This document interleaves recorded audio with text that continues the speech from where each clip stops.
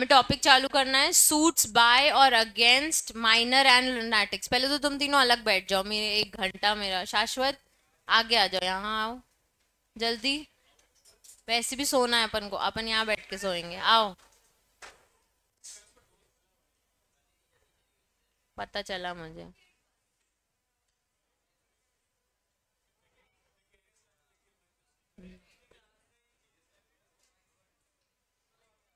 Shift एक ही book है, ये पूरी बुक है। यही है सारी बुक किसकी बुक है? तुम्हारी है। मार्क करते जाना। ठीक है। चलो। सूट्स बाय और against minor and lunatics Himanshi minor यानी? और लोनेटिक यानी? उनके अगेंस्ट सूट फ़ाइल किया जा सकता है क्या? पर उनने उनने कुछ गलत किया तो? कर सकते हैं। उनके फिर गार्जियन का नाम आपको लिखना पड़ेगा। ठीक है? A minor is a person who has not completed the age of 18 to 214 page who, for whose person a property or a guardian has been appointed by a court. तो अगर वो माइनर है तो उसके लिए गार्जियन अपॉइंट होता है। ठीक है? Age of majority is completed at the age of 21 years अब वो चेंज हो गई है। ठीक है? अब क्या दिक्कत है suit by a minor shall be instituted in his own name by a person who in such suit shall be called the next friend of the minor यहाँ पे next friend पे important mark ऐसे block बना लो क्या minor एक suit file कर सकता है हाँ कर सकता है लेकिन वो माइनर है तो वो अपने गार्जियन के नाम पे करेगा वो गार्जियन को वो लोग क्या कह रहे हैं नेक्स्ट फ्रेंड। मतलब जो उसके क्लोजेस्ट है, उसको वो क्या नाम दे रहे हैं? Next friend. तो ये टर्म दी हुई है उनने नेक्स्ट फ्रेंड तो तुम नेक्स्ट फ्रेंड ये मत समझ लेना, मेरा राइट वाला या मेरा लेफ़्ट वाला। नेक्स्ट फ्रेंड यानी जो उसका गार्जियन होगा, जो उससे क्लोजेस्ट होगा तो उसको टर्म दी हुई है next friend the next friend should be a person who is a sound mind and attend majority तुम्हारा नेक्स्ट फ्रेंड तो वैसे भी माइनर ही होगा। तो ऐसा होना चाहिए, जो साउंड माइंड का हो और major ho the interest of such person is not adverse of to that minor and that is not in in in the case of next friend a defendant for the suit पहली चीज़ वो defendant नहीं होना चाहिए उसका next friend मतलब उसने अपने पापा के अगेंस्ट ही सूट फ़ाइल किया तो उसके पापा ही उसके नेक्स्ट फ्रेंड नहीं बन सकते दूसरा जो भी उसका नेक्स्ट फ्रेंड है वो मिच्योर होना चाहिए और माइनर के अगेंस्ट वाला बंदा नहीं होना चाहिए। नीदर डिफेंडेंट ना ही माइनर के अगेंस्ट मतलब किसी भी तरीके से वो केस में इंटरेस्टेड नहीं होना चाहिए। अब एक बच्चा है जिसको एक सूट फ़ाइल करना है, उसके साथ कोई सिविल रॉन्ग हुआ है, उसके साथ जो उसका नेक्स्ट फ्रेंड होगा, वो कौन कौन होना चाहिए? पापा मम्मी लिखोगे? वो होना चाहिए, पहली बात वो होना चाहिए मेजर और साउंड माइंड का। कौन होना चाहिए? मेजर और साउंड माइंड। कौन नहीं होना चाहिए उस केस में इंटरेस्टेड नहीं होना चाहिए और डिफेंडेंट भी नहीं होना चाहिए। अंडरस्टैंडिंग के लिए पापा मम्मी सही है। लिखने के लिए क्या सही है कि नेक्स्ट फ्रेंड वाला पर्सन कौन होना चाहिए? मेजर और साउंड माइंड का। और क्या नहीं होना चाहिए? डिफेंडेंट नहीं होना चाहिए और केस में इंटरेस्टेड नहीं होना चाहिए। किसी भी तरीके से माइनर के अगेंस्ट वाला बंदा, उसका नेक्स्ट फ्रेंड नहीं हो सकता। क्लियर है? केस में मतलब वो भी इन्वॉल्व नहीं हो, किसी भी तरह से इंडिपेंडेंट पर्सन हो जो। ठीक है? Where the suit is instituted without a next friend the defendant may apply to have the plaint taken off the file with cost to be paid by the pleader or other person by whom it was presented मतलब next friend आना है, नहीं चाह रहा है। Next friend आना, नहीं चाह रहा है। तो अब कौन केस लेगा? जो उसका प्लीडर है। प्लीडर यानी जो उसका वकील है। लॉयर उसका केस प्रेजेंट करे, जो भी कॉस्ट है माइनर बेयर करे और केस को आगे बढ़ाया जाए। इस चीज़ की रिक्वेस्ट कौन कर रहा है? डिफेंडेंट कि उसका कोई नेक्स्ट फ्रेंड अपॉइंट नहीं हो पा रहा है तो आप प्लीज़ जो भी उसका वकील है, उसको एक्सेप्ट करो और केस को आगे बढ़ाओ। क्लियर है? Whether defendant is minor, अब उल्टा केस हो गया। अब कौन माइनर है? Defendant the court on being satisfied of the facts of his minority shall appoint a proper person to be the guardian for the suit. अब वो खुद माइनर है तो वो तो आके अपने डिफेंस में कुछ बोल नहीं पाएगा तो हमें उसके लिए कौन चाहिए? माइनर के लिए गार्जियन चाहिए। कौन चाहिए? गार्जियन चाहिए। An order for appointing a guardian suit में भी appointed upon the application of the name जैसे ही एक एप्लीकेशन फ़ाइल हुई और पता चला कि जो डिफेंडेंट है वो कौन है? माइनर है। सबसे पहला ऑर्डर क्या आएगा? इसके लिए क्या अपॉइंट कर लो? एक गार्जियन अपॉइंट कर लो। ठीक है? हाँ? उसको हम नेक्स्ट फ्रेंड टर्म नहीं बोलते हैं। ठीक है? नेक्स्ट फ्रेंड टर्म हम प्लेंटिव के लिए बोलते हैं डिफेंडेंट के लिए हम क्या बोल रहे हैं? गार्जियन बोल रहे हैं, ठीक है? A person appointed as a guardian for the suit for minor shall unless is appointed is terminated by retirement removal or death continues as through all the proceedings arising out of suit including the proceeding in appellate form revisional or any proceeding अपन ने पढ़ा था review reference revision ठीक है appeal भी पढ़ ली है एक बार तो एक पर्सन को अगर गार्जियन अपॉइंट किया गया एक पर्सन को क्या अपॉइंट किया गया गार्जियन तो वो थ्रू आउट द केस पूरे केसेस के लिए, पूरे अपील के केसेस के लिए रिवीजन केसेस के लिए उसका गार्जियन रहेगा, तब तक, जब तक उसका रिटायरमेंट नहीं हो जाता, जब तक वो रिमूव नहीं हो जाता या फिर डेथ नहीं हो जाती। अब रिटायरमेंट कैसे? सपोज़ कोर्ट ने ऑर्डर दिया है कि ये अभी सत्रह साल का है। मतलब एक साल बाद क्या बन जाएगा? माइनर मेजर ठीक है तो एक साल बाद जब ये मेजर बन जाएगा तो ये खुद अपने लिए अपियर हो जाएगा। मतलब 21 साल अगर मेजोरिटी है और ये 20 साल का है तो 21 साल बाद ये क्या बन जाएगा? मेजर तो तब ये खुद केस करेगा। तो तब आपका रिटायरमेंट हो जाएगा। तो वो पर्सन क्या हो जाएगा? रिमूव हो जाएगा। तो रिटायरमेंट रिमूव या उस पर्सन की डेथ हो गई। तो वो तो ऑब्वियसली फिर उसका गार्जियन नहीं रहेगा। लेकिन अगर रिमूवल रेजिग्नेशन या रिमूवल रिटायरमेंट या डेथ नहीं हो रही है तो throughout the entire cases वो उसका गार्जियन रहेगा। एपिलेट तक चले जाए या फिर रिविजनल अपील तक वो उसका गार्जियन बन के रहेगा। क्लियर है सबको? एक बार जब गार्जियन बन गया तो हमेशा के लिए गार्जियन कब कब नहीं, जब रेजिग्नेशन हो रहा हो रिमूवल हो रहा हो या फिर डेथ अब रेजिग्नेशन रिमूवल और डेथ समझ आ गया? उसके बाद क्यों गार्जन रहेगा? थ्रू आउट द केस कह रहे हैं मैं आरुष मैंने कहा अपील तक। वही तब रिमूवल का ऑप्शन आएगा। अगर माइनर को कहना है कि मुझे अपना गार्जियन बदलना है तो ऑर्डर पास कर दो प्लीज़ रिमूवल के लिए। वो विद रीजन देगा कोर्ट उसको रिमूव कर देगा और नया गार्जियन ले आएगा। और रिटायरमेंट कब जब वो मेजर हो रहा है तो रिटायरमेंट हो गया।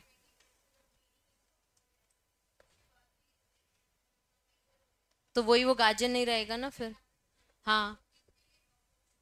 ऑर्डर लेना पड़ेगा कि ये देखो मेरा बर्थडे आ गया है, मैं बड़ा हो गया हूँ, अब मैं नया खुद गार्जियन की ज़रूरत है, मैं खुद अपना केस लड़ सकता हूँ। वही रिमूवल रिटायरमेंट खुद से भी रिटायरमेंट कर सकता है कि मेरे को नहीं बनना है इसका गार्जियन तो मैं रिटायरमेंट लेता हूँ। रिमूवल मुझे अच्छा नहीं लग रहा रिमूव कर दो। डेथ भगवान ने रिमूव कर दिया। ठीक है? ठीक है? तब वो रिमूव हो जाएगा। When minor attains majority अब वो आपका क्वेश्चन जो आपको आ रहा था whenever when the minor plaintiff attains majority he may elect to proceed with suit or application or elect to abandon it if he elects the former course he shall apply the order discharging the next friend or leave to proceed in his own name and the title of the suit will be corrected जैसे ही major हुआ या तो वो बोल सकता है कि अभी मुझे नहीं लग रहा है कि मैं केस फ़ाइल कर सकता हूँ तो मैं अपनी एज अपनी मेजोरिटी को अबंडन रखता हूँ, अभी मुझे नहीं करना है। या फिर अपने आप को इलेक्ट कर ले नेक्स्ट फ्रेंड को रिमूव कर दे और रिक्वेस्ट कर दे कि सूट का टाइटल जो अभी मेरे नाम पे नहीं है, अब वो मेरे नाम पे आप चलाओ, मुझे प्लेंटिव बनना है, मैं ये केस अपनी मर्ज़ी से, अपनी हिम्मत से लड़ूँगा। ठीक है? If he elects to abandon the suit or application, he shall, if a sole plaintiff or sole applicant apply for an order to dismiss the suit or repayment of the cost incurred by the defendant. ये दो चीज़ें कर सकता है जैसे ही वो major हो रहा है क्या कर सकता है एक तो अबेंडन कर सकता है एक तो अपने आप को इलेक्ट कर सकता है दो चीज़ें क्या क्या कर सकता है अबेंडन कर सकता है और एक अगर ये अबेंडेंट करता है तो कोर्स कोर्ट सूट को डिसमिस कर देगा कि तुम्हें नहीं लड़ना ना तो तुम्हारा के, कोर्ट केस डिसमिस हो चुका है तुम रहने दो हम आगे बात ही नहीं करेंगे। दूसरा अगर खुद को इलेक्ट कर लेता है तो नेक्स्ट फ्रेंड को हटा के सूट में टाइटल किसका आ जाता है? इस पर्सन का और उसका कोर्ट ऑर्डर पास करता है कि सूट में से टाइटल जो नाम है वो हटा दो प्लेंटिफ का नाम अब माइनर वाले का नाम डाल दो और अब केस वो लड़ेगा और प्रोसीडिंग्स फिर उस हिसाब से। और अबेंडेंट कर दिया। तो सूट क्या हो गया? डिसमिस हो गया। हम आगे बात ही नहीं करेंगे आपसे अब, ठीक है? फिर है सूट बाय और against person of unsound mind ये प्रोविज़न कह रहा है कि रूल वन टू फोर्टीन जो माइनर को एप्लीकेबल था सेम चीज़ अनसाउंड माइंड को भी एप्लीकेबल मतलब उसे भी एक नेक्स्ट फ्रेंड लगेगा, उसे भी एक गार्जियन लगेगा, जैसे ही वो साउंड माइंड का हो जाएगा तो वो अपने आप को इलेक्ट कर सकता है या फिर एबिल्डेंट कर सकता है। क्लियर है? सेम चीज़ है। केस लॉ होमवर्क लिखो। एक बहुत इंपॉर्टेंट टॉपिक है समरी प्रोसीडिंग्स या समरी प्रोसीजर ये आपको प्रैक्टिकल लाइफ में भी काम आएगा। क्या नाम है टॉपिक का? समरी प्रोसीजर और समरी प्रोसीडिंग्स यानी quick fast proceeding summary short में हो रहा है। समरी मतलब आपको ये पता है शॉर्ट में तो ये वो प्रोसीडिंग्स हैं जो शॉर्ट में होंगी। मतलब जितनी हियरिंग हम आपकी नॉर्मली लेते हैं दस दस साल, हम समरी प्रोसीजर को एक साल में निपटाने की कोशिश करेंगे। मतलब समरी प्रोसीजर भी एक साल तो चलता है। इसका नाम क्या है? समरी प्रोसीडिंग्स और समरी प्रोसीजर अगर अगर आप एक बिजनेसमैन हो, बहुत बड़ा काम है आपको और आपके पास टाइम नहीं है कि हम एक सिविल रॉन्ग के लिए इतना इतना टाइम चलाएँ। और हमारा मैटर बहुत छोटा सा है। कोई बहुत बड़ा मैटर नहीं है। और मेरे पास टाइम नहीं है। तो मुझे क्या फ़ाइल करवाना है? समरी प्रोसीडिंग्स या फिर समरी प्रोसीजर ठीक है? समरी प्रोसीडिंग्स अगर मैं करवाऊँगी तो एक छोटे अमाउंट की समरी छोटे अमाउंट का केस है। कोर्ट उसे एक्सेप्ट कर लेगा। एक साल में कोर्ट का ऑर्डर आ जाएगा कि कॉम्पनसेशन देना है कि लेना है या नहीं करना है कुछ भी। क्लियर है?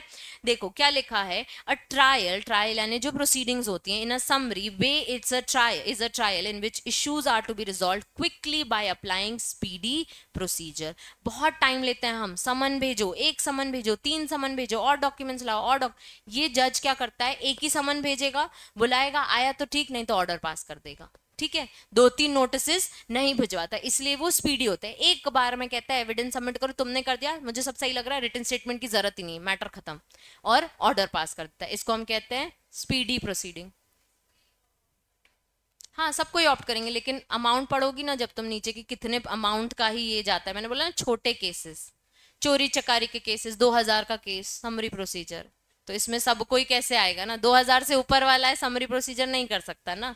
2000 वाला समरी प्रोसीजर करेगा एविडेंसेस है, खत्म करो 2000 पे करो, बात को खत्म करो, ठीक है? समझ आया? इसको हम क्या कहते हैं? क्विक हाँ? इसको हम क्या कहते हैं? Quickly applying for speedy disposal, quickly applying for the speedy procedure.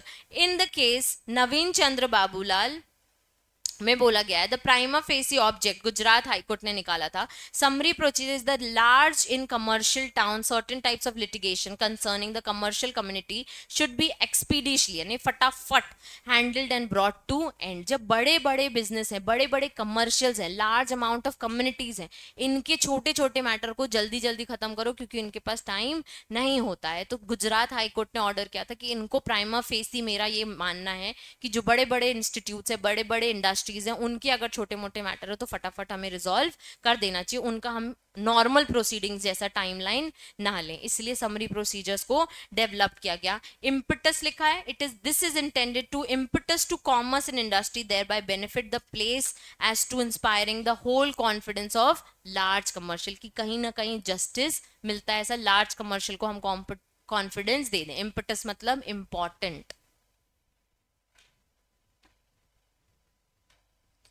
जो छोटे मोटे मॉनिटरी क्लेम्स हैं लिक्विडेटेड अमाउंट से वो इजीली वो निकाल सके। पहली चीज़ याद करो, जब मैंने बोला समरी प्रोसीजर लिखना क्या है कि it is applying for those issues which are to be resolve quickly by speedy procedure quickly by speedy procedure एक केस नाम याद करो, नवीन चंद्र बाबूलाल का केस क्या नाम है? नवीन चंद्र बाबूलाल, बस भावासर वर्सेस बच्चूबाई, दानाबाई थानाबाई शाह। तो गुजरात हाईकोर्ट ने पास किया था। सिर्फ़ आप नाम याद, कर लो नवीन चंद्र बाबूलाल भवर केस ठीक है? अब इसमें क्या बोला है? The object of summary procedure क्यों आया? ताकि लार्ज कम्युनिटीज लार्ज कमर्शियल्स का कुछ ना कुछ उनका कॉन्फिडेंस बढ़े उनके छोटे मोटे मैटर्स जल्दी से सॉल्व हो सके। अब chief judicial magistrate metropolitan magistrate magistrate of first class कल मैंने आपको बताया था मैजिस्ट्रेट ऑफ़ फ़र्स्ट क्लास तीन साल, फिर सात साल, फिर दस साल, ऐसे वाले लेवल के जो मैजिस्ट्रेट्स हैं, इनको पार दी गई है by high court to try a summary way summary suits कौन कौन देख सकता है? Chief judicial magistrate metropolitan magistrate और मैजिस्ट्रेट ऑफ़ फ़र्स्ट क्लास कौन कौन सेकंड क्लास नहीं है। सेकंड क्लास नहीं है हाँ। ठीक है? अब the following offences may be tried in a summary way कौन कौन से ऑफेंसेज हैं जो समरी प्रोसीजर से हो सकते हैं सीपीसी के अंदर? पहला ऑफेंसेज जिसमें पनिश डेथ नहीं होती। मतलब मर्डर वाले समरी प्रोसीजर होंगे क्या? नहीं। इम्प्रिजमेंट ऑफ़ लाइफ या imprisonment of term exceeding two years ऐसे मैटर्स जिसमें छह महीने की जेल हो, एक साल की जेल हो, डेढ़ साल की जेल हो, वो कैसे हो सकते हैं? समरी प्रोसीजर के थ्रू हो सकते हैं। दो साल के ऊपर, ऐसे मैटर्स जिसमें तीन साल की जेल हो, वो हो सकते क्या? नहीं हो सकते। ठीक है? Theft where the value of the property stolen does not exceed two thousand rupees बीस हज़ार की कोई चीज़ चुरा के ले गया। क्या समरी प्रोसीजर हो सकता है? नहीं। दो हज़ार से कम वाली वैल्यू का समरी प्रोसीजर किया जाता है। पहला क्या हो गया? ऐसे ऑफेंसेस जिसकी imprisonment not death not imprisonment of life and not exceeding two years वो वाले ऑफेंसेस हमको लेने हैं। तो नॉट पे स्क्वायर बनाओ। फिर theft the value of the stolen property is less than two thousand रिस समरी प्रोसीजर होते हैं। हाँ जाते हैं लोग यार। अब ये जब बनाया है, उस हिसाब से, उस टाइम 2000 तो बहुत थे ना। अभी 2000 कम है ना। रिसीविंग और retaining stolen property where the value of property does not exceed 2000 receiving और रिटेनिंग मतलब अब ले लिया और रिटेन कर लिया, वापस नहीं दी। किसी से बोला, गाड़ी यूज़ करने को दो, जो उस टाइम पे 2000 तक की होती होगी, अब वो वापस नहीं दी तो इसका केस फ़ाइल हो सकता है इन समरी ट्रायल फिर असिस्टिंग इन कंसीलमेंट और disposal of the stolen property मतलब कि छुपा दी प्रॉपर्टी चोरी करके, जिसकी वैल्यू कितनी है? Not exceeding two thousand rupees offences under 454 और 456 ऑफ़ आईपीसी जो कि है lurking house trespass and house breaking दोनों सेक्शन का मतलब दिया है। किसी के घर में बॉल से घर तोड़ दोगे तो यह समरी ट्रायल हो जाएगा। या लर्किंग घुसने की कोशिश करोगे तो फिर समरी ट्रायल हो जाएगा। Chess passing insult with intent to provoke a breach of peace and criminal intimidation punishable with imprisonment which may extend to two years with fine और बोथ ऊपर अपन ने पढ़ा था नॉट एक्सीडिंग टू ईयर्स लेकिन अगर आपने किसी की इंसल्ट की तो समरी वे में जा सकता है। ठीक है?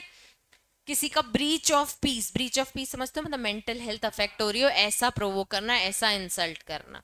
An attempt to commit any foregoing offenses when such attempt is an offense. Attempt to murder. Murder तो नहीं किया ना सर सिर्फ़ अटेम्प्ट ही तो किया था। मारने गए थे तो क्यों सजा? तो समरी वे में ये ट्रायल हो जाएगा। इसको हम बोलते हैं कल्पेबल होमिसाइड फिर any offence constituted by an act in respect by which a complaint may be made under section 20 of cattle trespass act किसी की गायें चुरा के ले गए तो समरी वे समरी प्रोसीजर हो जाएगा। ये सेक्शन 20 वही है। किसी की गाय उठा ली। ठीक है? नाइन पॉइंट्स हैं एग्जैक्ट सारे नौ के नौ आपको पता होने चाहिए, क्योंकि फॉलोइंग वे में वो बोल रहे हैं समरी वे ट्राई हो सकता है समरी प्रोसीजर हो सकता है। पहला क्या है? हाँ? लास्ट ऑफेंस अच्छा abetment of any foregoing offences abetment मतलब किसी को एनकरेज करना कि आप ये वाला ऑफेंस करो, मज़ा आएगी, लेकिन जेल हो जाएगी। ठीक है? Encourage someone to do wrong लिख लो अबेटमेंट के आगे. Encourage someone to do wrong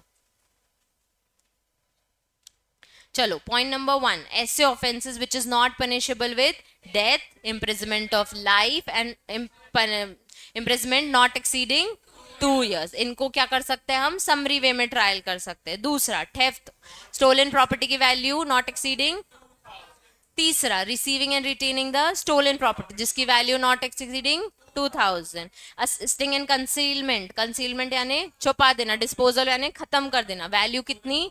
2000 से कम. फिर offences related to 454 and 456 of IPC Indian penal code section क्या है? लर्किंग हाउस ट्रेसपासिंग और ब्रेकिंग फिर अबेटमेंट फिर इंसल्ट टू इंटेंट प्रोवोक अब किसी का ब्रीच ऑफ़ पीस या फिर ब्रीच क्रिमिनल इंटिमिडेशन मतलब मेंटल हेल्थ अफेक्ट जिसकी imprisonment more than may exceed to two years और विथ फाइन तो ये भी किससे वे से ट्रायल हो जाएगा? समरी वे से। फिर अबेटमेंट समरी वे से हो जाएगा और फॉर गोइंग ऑफेंसिव चलो। समरी वे, समरी प्रोसीजर अगर उन्होंने पूछ लिया तो सबसे पहले शान समरी वे अगर पूछ लिया तो सबसे पहले क्या बताना है कि it is the quickly by applying speedy procedure ऐसे कौन कौन से प्रोसीजर्स ऐसे कौन कौन से ऑफेंसेस जिसमें समरी वे ट्रायल हो सकता है? पहला offences not punishable with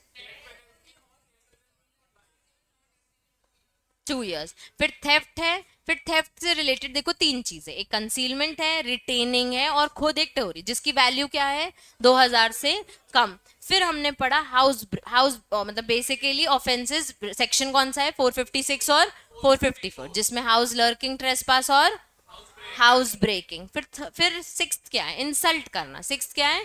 insult करना। ब्रीच ऑफ़ समबडीज पीस जिसमें भी फाइन में एक्सटेंड और मतलब imprisonment may extend two years और विथ फाइन भी जा सकता है। फिर है अबेटमेंट अबेटमेंट मतलब किसी को एनकरेज करना कि गलत काम करो। फिर एट्थ क्या है?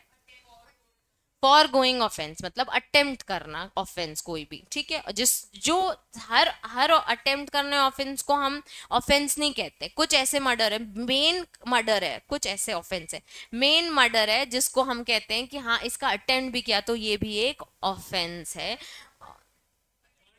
फॉर एग्ज़ाम्पल मैंने कॉन्फ्रेंसी क्रिएट की कि मुझे किसी एक पर्सन का मर्डर करना है। मैंने उसको मैसेज किया कि तुम्हें ये बिल्डिंग में पहुँचना है और मैंने प्लान किया कि यहाँ से मैं उसको धक्का देने वाली हूँ। वो वहाँ पे आई भी, धक्का देने जा ही रही थी, इतने में उसको समझ आ गया और वहाँ से भाग गई। तो वो इस चीज़ को ऑफेंस क्रिएट कर सकती है और मेरे पे केस फ़ाइल कर सकती है कि इसने अटेम्प्ट टू मर्डर किया था मुझे यहाँ से धक्का देने की कोशिश करने वाली थी।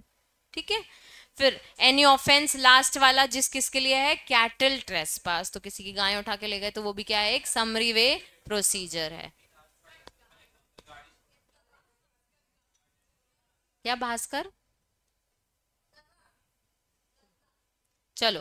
However if in the course of summary trial it appears to magistrate that the nature of the case is undesirable to try it summarily the magistrate can recall any witness who may be examined, the process to rehear the case in the manner provided in the CPC मतलब कि आपने summary suit file किया, लेकिन हमको लगा कि थोड़ा ज़्यादा बड़ा मैटर है।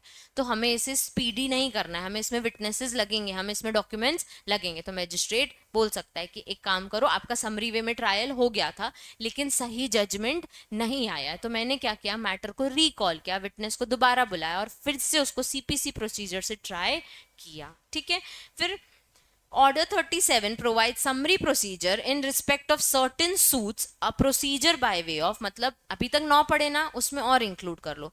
बिल ऑफ़ एक्सचेंज के केसेस हुंडीज जो पहले चलती थी, अब नहीं चलती। प्रोमिसरी नोट्स और suits by plaintiff seeks only recovery of death और liquidated demand of money with और without interest arising out of through a contract किसी एक्ट की वजह से उनके, उनको ये फिक्स्ड अमाउंट देना पड़ा होगा इन फ्यूचर वापस लेना था तो वो एक इशू बन गया कि अभी तक पैसे नहीं आए हैं, या फिर कोई गारंटी दी थी, इसको भी हम समरी वे में ट्राई कर सकते हैं। मतलब नौ पॉइंट्स पढ़े कि इन इन वालों को कर सकते हैं। अब बिल ऑफ़ एक्सचेंज हुंडई और प्रोमिसरी नोट जिसमें कोई ना कोई अमाउंट कोई ना कोई डेट कोई ना कोई अमाउंट किसी को दिया था विथ इंटरेस्ट या विदाउट इंटरेस्ट वो भी समरी वे में ट्रायल हो सकते हैं। अब जब आपने इसकी कंडीशन है कि पैसे दिए थे और बात हुई थी समरी वे में नहीं होगा, अगर आपका इसका कोई रिटर्न कॉन्ट्रैक्ट था तो कोई इनएक्टमेंट है, कोई एक्ट आपका इससे बात करता है कि हाँ एक फिक्स्ड अमाउंट ऑफ़ मनी दिया तो ये चलेगा। तो bill of exchange negotiable instrument एक स्पेसिफिक एक्ट दिया हुआ है। और लास्ट अगर किसी को कोई गारंटी दी थी कि इसने पैसे नहीं दिए ना तो मैं दूँगा। तो मैंने क्या दिया था? गारंटी तो मेरे ऑन मेरे ऊपर भी ऑफेंस का केस आ सकता है थ्रू समरी वे एक स्टिकी नोट लगाओ सब फटाक से पहले। जल्दी।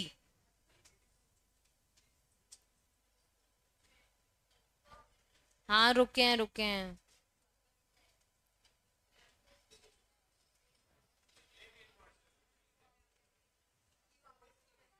इसी समरी प्रोसीजर पे लगाओ। इजी लैंग्वेज लिखा रही हूँ। ये जो लैंग्वेज लिखी है, थोड़ी सी ट्रिकी है इजी लैंग्वेज में लिखवा दे रही हूँ। मैं स्टार्ट कर रही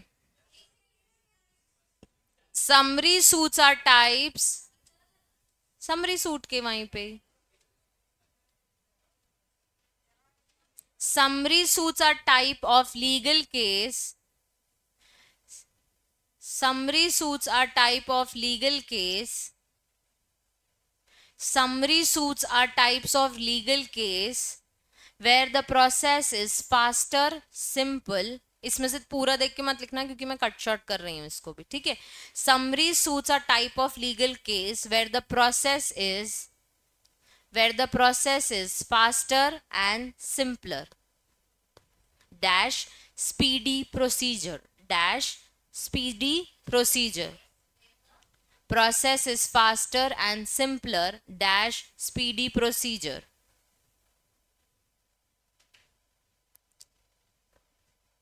Dash speedy procedure फिर लिखो claims where the claims are related to some debt or amount where the claims are related to debts यानी debts यानी loan D E B T S debts और एनी अमाउंट विथ और without interest screen में मत देखो वो नहीं लिखवा रही हूँ मैं अपने हिसाब से बोल रही हूँ whether claims is related to debts claim debts or amounts with with or without interest with or without interest based on based on bill of exchange based on bill of exchange bracket में लिखो check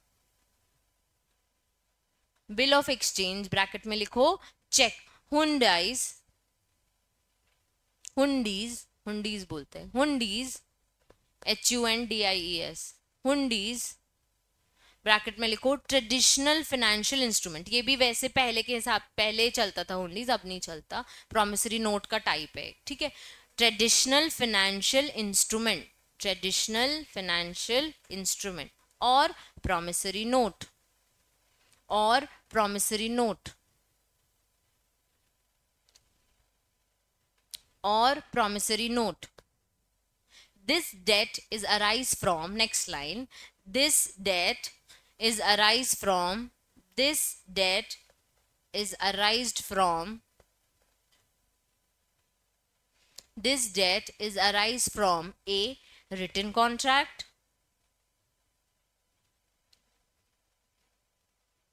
or a loss that sets the amount to be paid or a law that sets the amount to be paid or a law that sets the amount to be paid or a law that sets the amount to be paid इतना हो गया सबका amount to be paid तक हो गया फिर लिखो और ओयो ओयो a law that sets the amount to be paid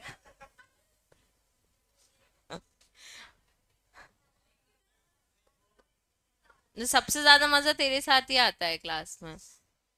A law that sets the amount to be paid, फिर लिखा a guarantee अरे रे, ये लिखा है a law that sets the amount to be paid पाँच बार बोला मैंने ये लाइन उसके बाद तो बोल रही हूँ, और a guarantee related to a debt और a guarantee related to a debt और a guarantee related to a debt full stop लगा दो। इसके बाद एक पॉइंट लिखो। No extra claims are allowed no extra claims are allowed no extra claims are allowed अगर summary way में आ रहे हो, जिसमें डेट की रिकवरी चाहिए, जो एक रिटर्न कॉन्ट्रैक्ट गारंटी या किसी लॉ के इनेक्टमेंट से आपको बोला गया कि आपको इतना अमाउंट पे करना ही पड़ेगा तो उसके अलावा, जो कॉन्ट्रैक्ट में लिखा है, उसके अलावा कोई अमाउंट की बात नहीं हो सकती। जितने अमाउंट की guarantee no extra claims are allowed जितने अमाउंट की गारंटी आपने दी थी, सिर्फ़ उतना ही अमाउंट आप ले सकते हो, उतने ही अमाउंट का सूट फ़ाइल कर सकते हो, और सूट फ़ाइल नहीं कर सकते। ठीक है? लिख लिया सबने? इसकी लैंग्वेज हाँ।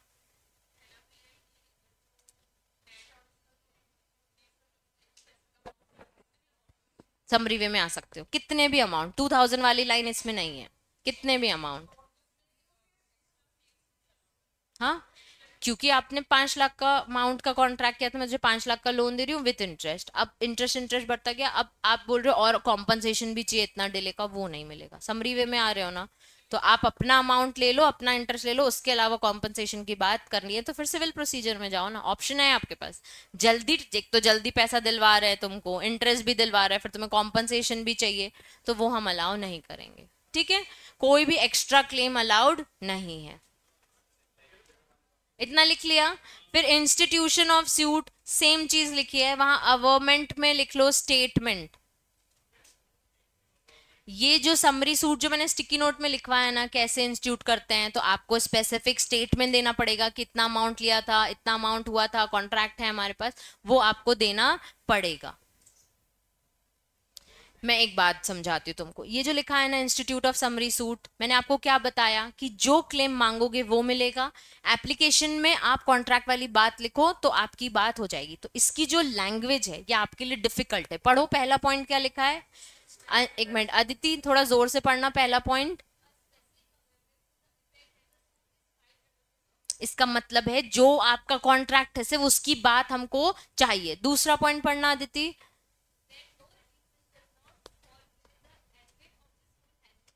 इसका मतलब सिर्फ़ ये no extra claim is allowed लेकिन उन्होंने लिखा कैसा है कि कोई और रिलीफ जो इसके एम्बिट में फॉल नहीं होता, वो आप क्लेम नहीं कर सकते। इसका मतलब है कोई एक्स्ट्रा क्लेम नहीं मिलेगा। वही मैंने आपको शॉर्ट में लिखवा दिया है। थर्ड है the inscription immediately below the number of the suit in the title the suit is being establish under order thirty seven अगर समरी सूट फ़ाइल कर रहे हो तो जो एप्लीकेशन फ़ाइल करोगे, उसके टाइटल में इंस्क्रिप्ट मतलब लिखना ऑर्डर थर्टी सेवन ये तीन चीज़ें इंपॉर्टेंट है when you are filing an suit again summary way पहला, एक स्पेसिफिक स्टेटमेंट होना चाहिए। दूसरा, वहाँ ब्रैकेट में लिखना नो एक्स्ट्रा क्लेम्स तीसरा टाइटल के नीचे क्या लिखना है? ऑर्डर थर्टी सेवन लैंग्वेज की थोड़ी सी दिक्कत है, इसलिए शॉर्ट में लिखवा लिया। जहाँ स्टिकी नोट लिखा है ना, वहाँ लिखो। जहाँ लिखा नो एक्स्ट्रा क्लेम्स वहाँ जगह है क्या नीचे? एक पॉइंट लिख लो स्पेसिफिक स्टेटमेंट स्पेसिफिक स्टेटमेंट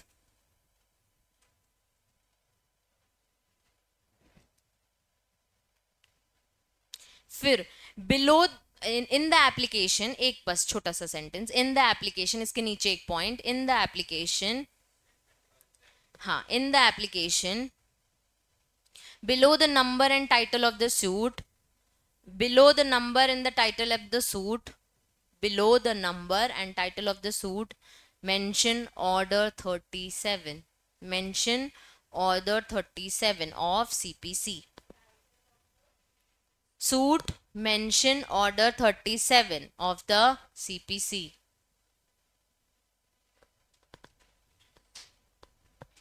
ठीक है? फिर नीचे वही लिखा है bill of exchange return of contract एक इनेक्टमेंट से आया हो या फिर कोई गारंटी हो। समरी वे में अगर सूट इंस्टीट्यूट करना है तो एक स्टेटमेंट देना है, एक अदर कोई एक्स्ट्रा क्लेम नहीं मांग सकते, और last order thirty seven title में लिखना है। Clear leave to defend. अब मैं आपको जब बता रही थी कल समरी प्रोसीजर तो मैं आपको थी डिफेंडेंट की सुनते नहीं है हम ज़्यादा। रिक्वेस्ट वो उसको बुलाते हैं। पहले में नहीं आया, ये मैंने आज बताया। पहले रिक्वेस्ट में नहीं आया। पहले समन में वो अपियर नहीं हुआ। तो हम दूसरा नोटिस उसको नहीं भेजते। वैसे हम उसको दूसरा नोटिस हमेशा भेजते हैं। इसमें कह रहा है ऑर्डर थर्टी सेवन में prescribe the mode of service of summon and leave to defend मतलब वो रिक्वेस्ट करेगा, क्या मैं इसमें डिफेंस कर सकता हूँ? मुझे भी कुछ कहना है। वैसे हम हमेशा राइट देते हैं कि डिफेंडेंट के पास राइट है। वो हमेशा अपनी बात रखेगा। उसके बाद ही कोई एक ऑर्डर पे हम पहुँचेंगे। लेकिन समरी सूट में वो रिक्वेस्ट करता है defendant is not entitled defend the suit unless he enters on the appearance within ten days of the service of summon normal summon तीस दिन का होता है। मैंने आपको बताया ना नेक्स्ट ईयरिंग अक्टूबर में जुलाई में तो तीस, चालीस, पैंतालीस दिन का नॉर्मल समन समरी सूट में कितने दिन का समन दे रहे हैं वो? दस दिन का। अगर दस दिन में वो अपियर हुआ तो उसकी रिक्वेस्ट टू डिफेंड हम एक्सेप्ट कर सकते हैं। ठीक है शैल नहीं लिखा है इज़ इन टाइटल मतलब हाँ उसको हम दे सकते हैं। नहीं तो फिर उसको हम कभी भी डिफेंस करने का मौका नहीं देंगे। ठीक है? द कोर्ट अब लिखा है however such leave shall not be granted जब कोर्ट सेटिस्फाइड है, कोई मतलब नहीं है इससे सवाल जवाब करने का, हमारे पास सारे प्रूफ आ गए। There is no sense to discuss anything with the defendant तो हम उसकी डिफेंस वाली बात को नहीं सुनेंगे। Next point the part of the amount claim by the plaintiff and admitted by the defendant to be due from his deposited by him in the court मतलब कि डिफेंड, एक अमाउंट है दो हज़ार का, जो किसने बोला? प्लेंटिव ने, और डिफेंडेंट ने मान लिया कि हाँ दो हज़ार का घपला मैंने कहीं किया है। तो जब तक फाइनल ऑर्डर आ जाए डिफेंडेंट को बोला दो हज़ार यहाँ जमा करके जा डिपॉजिट करके जाओ उसने डिपॉजिट कर दिया तो उसको डिफेंस का मौका नहीं देते। क्यों? क्योंकि उसने एडमिट कर लिया है कि आप बस फाइनल ऑर्डर दो करना क्या है? 2000 देना है 1500 देना है 2500 देना है। लेकिन हाँ मैंने इतना काम किया है, ये मैं एडमिट करता हूँ। दो जगह पे उसको डिफेंस करने का मौका नहीं मिलता, वहाँ स्टार मार्क करो। दो जगह पे समरी सूट में डिफेंडेंट को मौका नहीं मिलता है अपनी बात रखने का। पहला, जब वो दस दिन में एक तो अपियर होना चाहिए तो उसको डिफेंस मिलेगा। अब, कब सेटिस्फाइड है कोर्ट की, कोई सब्सटैंशियल डिफेंस की ज़रूरत ही नहीं है। डिफेंडेंट गलत है फ्रिवलेस है, ये प्रूव हो चुका है। इस चीज़ से कोर्ट ऑलरेडी सेटिस्फाइड है। और दूसरा, जो भी अमाउंट है, उसने एडमिट कर लिया और डिपॉजिट भी कर दिया है विद द कोर्ट क्लियर है? यहाँ पे एक और जगह स्टार मार्क करो। Summary suit must be brought within one year from the date of the date becomes due and payable मतलब कि लिमिटेशन पीरियड कितना है समरी सूट के लिए? एक साल। एक साल में कोर्ट के पास आ जाओ। अगर समरी सूट फ़ाइल करना है, तीन साल में आओगे तो हम आपकी बात नहीं सुनेंगे। ठीक है? नहीं नहीं आता। अपील्स में आता है ना, अपील एंड एप्लीकेशन सूट्स में कहा आता है? हाँ लिमिटेशन दिया। अब लिंक कर पा रहे हो लिमिटेशन एक्ट और ये? केस मार्क करो इंपॉर्टेंट समरी जजमेंट और saving of inherent power read करके आओगे और कल जितने डाउट्स हैं रीड करने वाले। वो स्टार मार्क करके आना। कल हम वो डाउट्स लेंगे। अभी लैपटॉप इसमें बैटरी नहीं है। और कल हम बस पार्स ऑफ़ सिविल कोर्ट और कमर्शियल कोर्ट एक्ट देखेंगे। हाँ केस लॉ होमवर्क है। दो चीज़ें मैंने रीड करने बोली हैं। क्या क्या समरी जजमेंट और सेविंग ऑफ़ इनहेरेंट पार ये रीड करके आना है आपको।